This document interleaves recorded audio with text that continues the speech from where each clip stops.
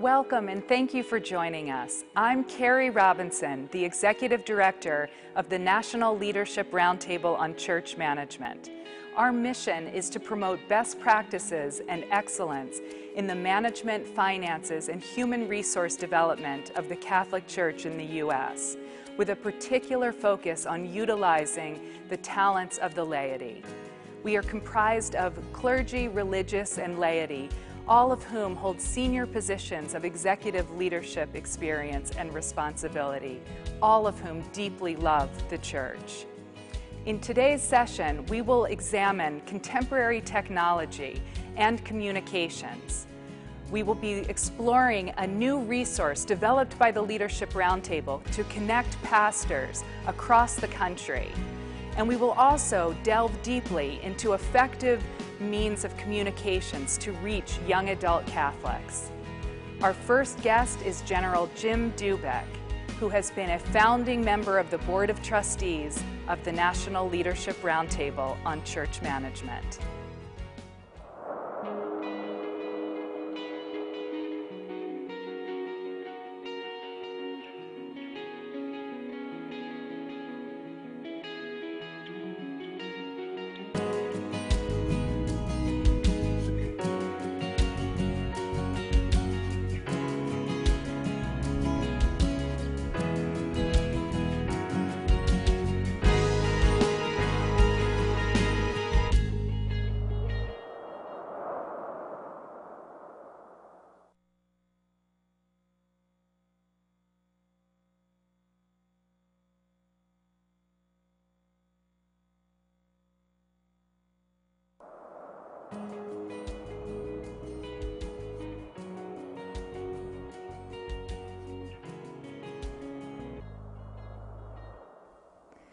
General Dubik, you're an extraordinary leader, recently retired after 37 years serving the U.S. Army.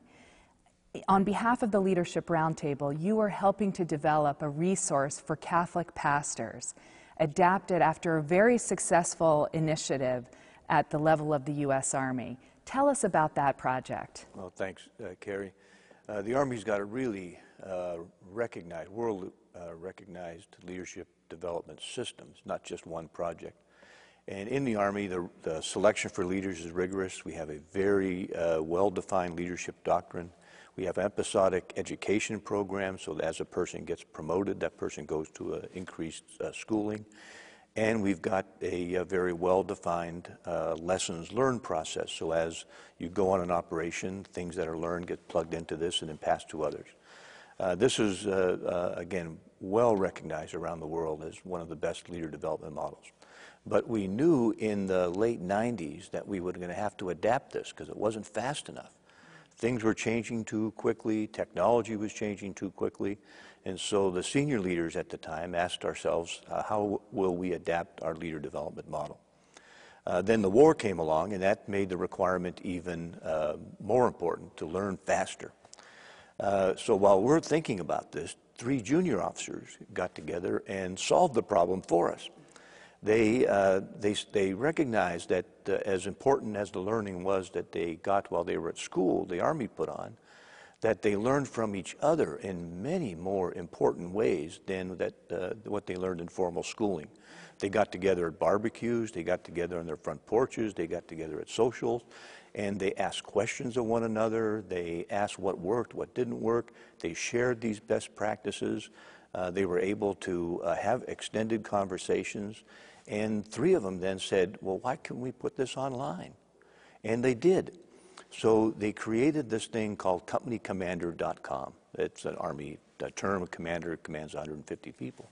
And online, they tapped into the community that already exists they tapped into the desire to serve well, and they created this forum where they could share best practices, ask questions of one another, and uh, learn from one another at a rate that we never could have guessed possible uh, in the early part of the, of the 2000s. Fascinating. Explain how you have taken the findings and success of that model and adapted it for specific utility in the Catholic Church, specifically with pastors? Well, first, a community already exists. the community of pastors around the country uh, are uh, a group of people who are absolutely dedicated to serving their parishioners, who have some great ideas, who have good practices in leading their, uh, their parishes, and there's a recognized need to share that and to learn from one another. So there wasn't a need to create a community. It was how to serve, how to get the technological tool to serve the community that already exists. So the roundtable pulled together uh, a small group of people mm, late last year, and we called this the prototype group. It consisted actually of a couple members from the Army who volunteered their services to uh, come help form this. Uh, then several uh, priests and a couple other lay leaders. And this prototype group met over a series of months, sometimes face to face, sometimes on telephone, sometimes other ways, and came to uh, conclude about three things. First, the initial focus, and we hope this project goes beyond pastors, but the initial focus would be on pastors. But the definition of pastors would be broad. It'd be pastors past, because there's a lot of contributions that former pastors can make to now younger pastors. It would include pastors present because these pastors are facing uh, very difficult situations and circumstances and have questions. Uh, in some cases, they've never done it before. In other cases, they serve multiple parishes and with, with differences among the parishes. It would also include pastors' future, uh, priests who think that they might become pastors. And last, the the large group of support priests who are there to help pastors. And so, if we, the group thought, if we define pastors that large, uh, in, in, that expansive of a way, uh, we would create the, the community that exists would be one that could really be tapped into. Wonderful. Uh, second, and this is pretty exciting, the, the uh, prototype group decided to organize the web page around contemplation and action. And uh, they took on the contemplation side, they said, well, a priest can't serve unless his spiritual renewal, uh, renewed uh, regularly. And so under contemplation, there's uh, the, a retreat center on the web page where pastors and priests can share uh, things that help renew them. On the action side, they uh, decided on a series of categories called Keys to Confident Ministry. And these were uh, categories that uh, the, the group thought were pretty routinely uh, practiced in every parish, though they may differ parish to parish. So that was the second. And then the third uh, decision was that, that whatever content would be on would have to be generated by pastors themselves. So it would be useful to them, it'd be practical advice. And uh, that kind of guided the prototype group following maybe four or five months of uh, prototype discussion, we hired the previous group, again, a group that helped the Army in forming it uh, uh, through a very generous grant of Catholic Extension Society. And uh, the group now has launched us into a pilot program. We've extended the number of priests that are on the site. Now we're into much more content, refining the, the site to make it easier to use. You can go on the site now, for example, and find some very practical guides on planning and organizing projects at the parish level, uh, decentralizing and leadership techniques. You can go on and find uh, uh, ways to get parish councils to work better together. Uh, you can find practical advice on group dynamics, not just theory, but how it, how it applies. And so the content is starting to expand. And we're ready, uh, I think, pretty soon to move from pilot to full production. And uh, so this is, this is a very exciting project that we think, uh, we know pastors will benefit from. I know there will be many pastors who will be eager to be part of this community. So and we hope so. Thank you so much for developing that. Um, before you leave us, is there anything that you have learned over your career about leadership that you would like to suggest to church leaders at the parish level, pastors and church leaders, that would help encourage them? Well, I guess the one thing that, that, that I learned as I matured as a leader uh, to recognize what I don't know and to tap into the resources of those around me who are willing to help. In my case, subordinates, but of course, subordinate uh, doesn't exist in, uh, in a Catholic parish. But tap into the expertise of others and let their expertise contribute to the common goals of parish life. That as a leader, when I was younger, I thought I had to have all the answers. And the more I led, the more I realized that was a flawed model. And the collaborative leadership, participative leadership, tapping into the resources of others, uh, was a leadership skill that I had to develop and that I would recommend to, to any uh, cleric or, uh, or lay leader. Yeah. General Dubik, thank you so much for your service to our country and to our church, and especially for your leadership at the Leadership Roundtable on Church Management. Oh, you're welcome. It's absolutely my pleasure.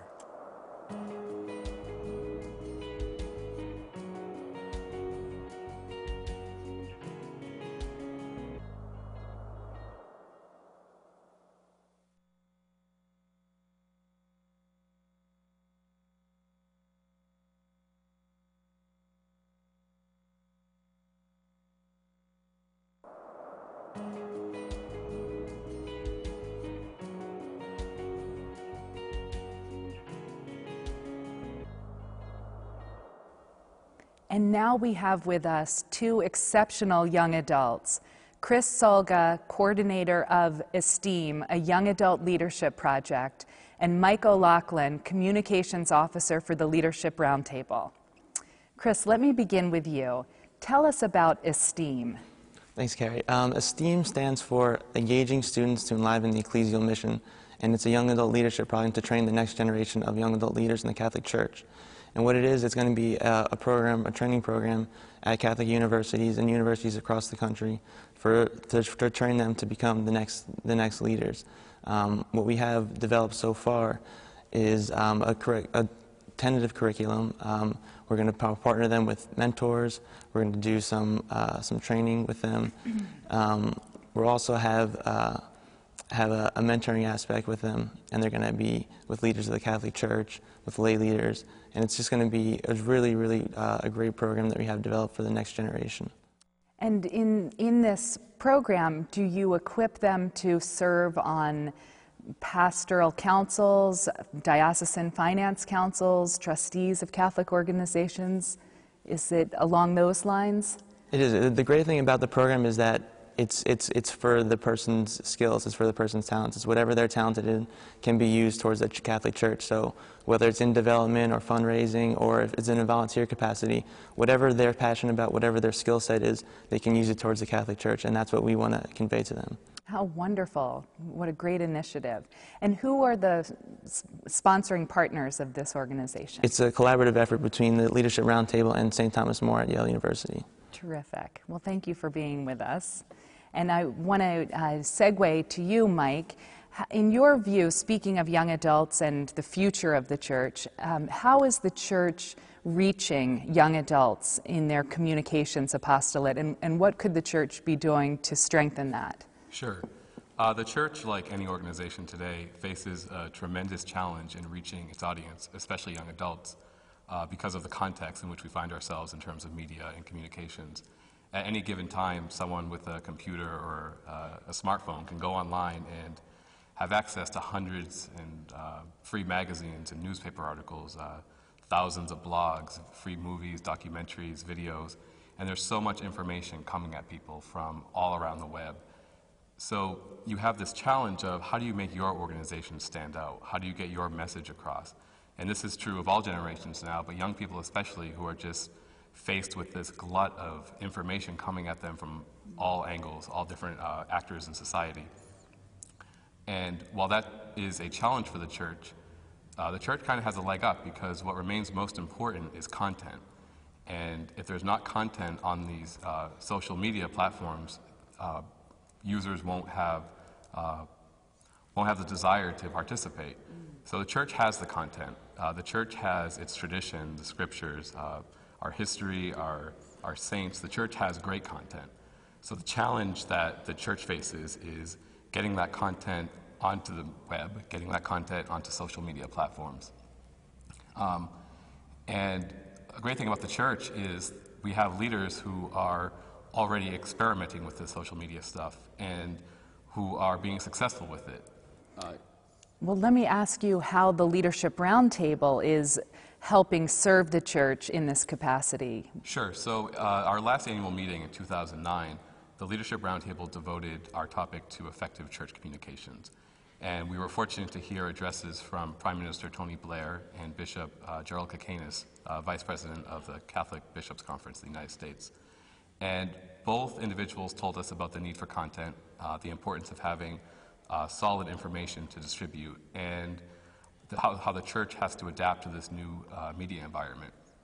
The Leadership Roundtable, to celebrate this, uh, this meeting, we launched our own social media platform. So we were able to take these dynamic speeches and put them on YouTube during the meeting. So people could participate in the meeting who weren't able to join us in Philadelphia. We were using Twitter to get out real time information to people following us on the web, um, highlighting uh, the remarks, talking about uh, what was happening at the conference. We use Facebook to uh, direct our members to news articles related to the Leadership Roundtable uh, we're able to use all these uh, social media platforms to engage our members, which is very important because they feel as though they're in touch with us and we're in touch with them regularly. And also, we're able to reach out to individuals and organizations who share our passion, uh, who share in our mission, and we can connect to various communities throughout the country, throughout the world, who want to share their ideas with us, and we can share uh, our ideas with them. Well, and Chris, I can imagine that in the area of, of swiftly changing technology, this may be a perfect way to connect talented, faith filled young adults in, in, direct service to the church, um, helping equip and wire parishes to, to be more contemporary. Exactly. And, and what happens really today is that there's a gap that exists between um, college age kids that are really active in campus ministry while they're in school, and then, you know, usually coming back to, to the church if they get married or some major life event. And so social media and networking is, gonna, is a great way to, to bring them back into the church and get them more involved right away, right out of campus. Oh, terrific. Um, let me ask you uh, in the sphere of technology and the internet, the Leadership Roundtable has collected from all across the country a set of best practices at, uh, through parishes, dioceses, religious communities.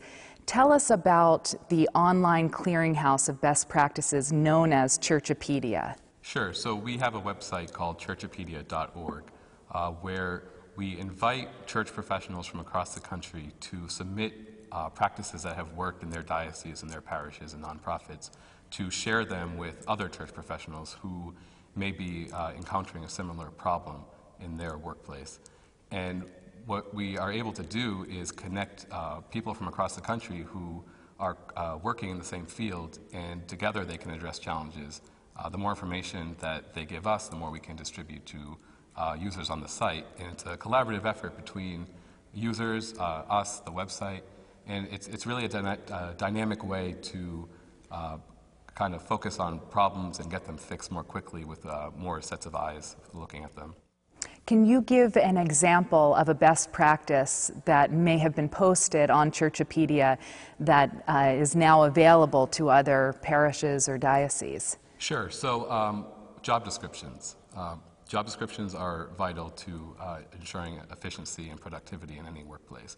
So, what we've been able to do is uh, collect uh, exemplary job descriptions from various organizations, parishes, dioceses, nonprofits, and post actual samples on the website. So if there's a pastor in California who needs to hire uh, an administrative position for his parish, he can go on to churchopedia.org, click on job descriptions, find an example from a Boston parish that worked well, that uh, the whole process was uh, uh worked well for the parish, and kind of use that model for his own search back in California.